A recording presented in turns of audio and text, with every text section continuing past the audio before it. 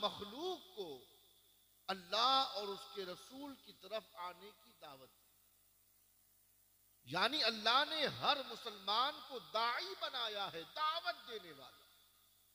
اسلام کی دعوت، دین کی دعوت، شریعت کی دعوت، سنت کی دعوت، اعمال صالحہ کی دعوت۔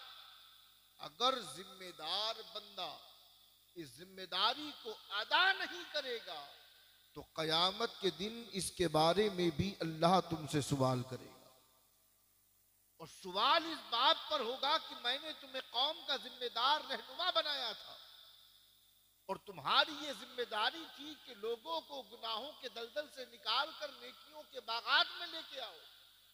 لوگوں کو برائیوں سے نکال کر نیکیوں کی طرف لے کر کے آؤ۔ تم نے ایسا کیوں نہیں کیا؟ تو اس پر ہمیں جواب